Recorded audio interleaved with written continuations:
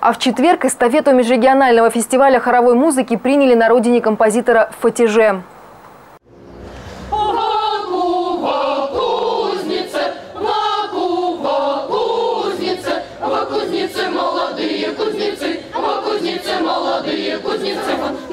Яркий букет голосов, знакомые мелодии классических и народных произведений.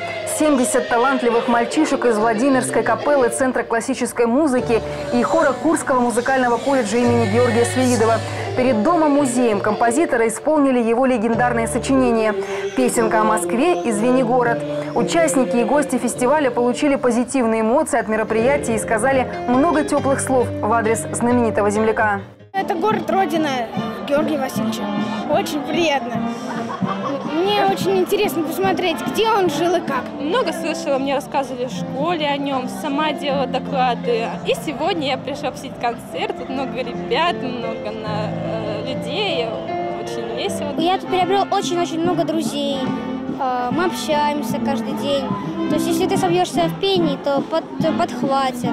23 мая фестиваль будут встречать в Железногорске. В нем примут участие хоровые коллективы из Курска, Железногорска и Орла.